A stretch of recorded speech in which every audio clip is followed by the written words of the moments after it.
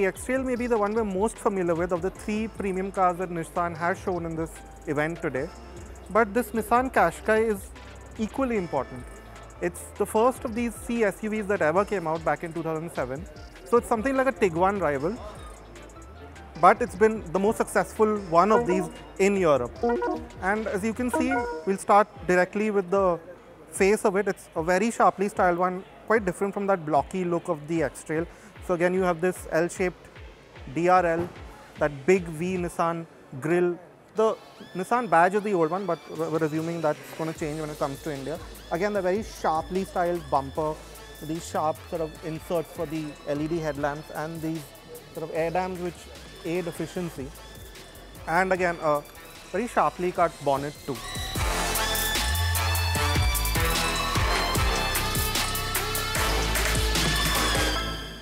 Now the Qashqai that will come to India will again be a hybrid.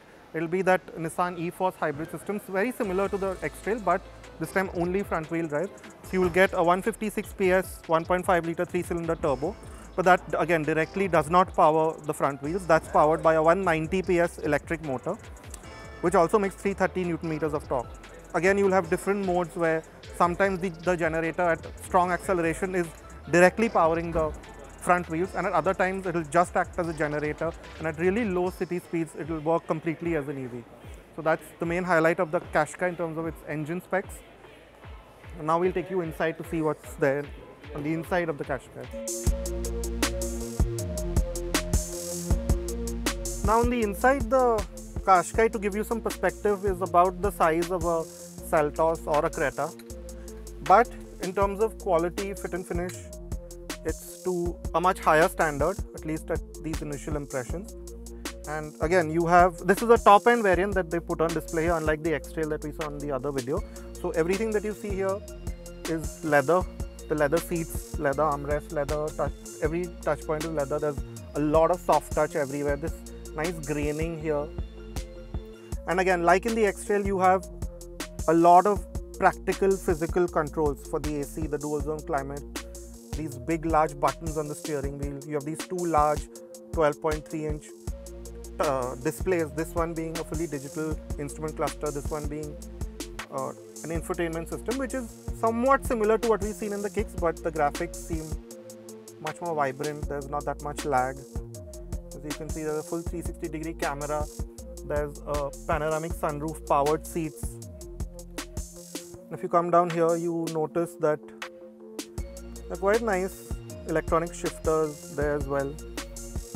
Now there's a large suite of safety systems. You get ADAS with this one as well, that same 10.8 inch uh, head-up display screen in front of you which projects directly onto the windscreen.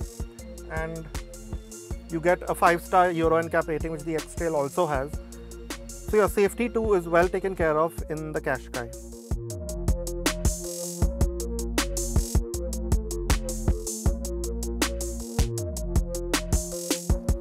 Now again in terms of space this is very close maybe slightly smaller than what you would expect to see in a Creta because of its more compact shape and this low sloping roofline but there's a large sense of space with this panoramic sunroof.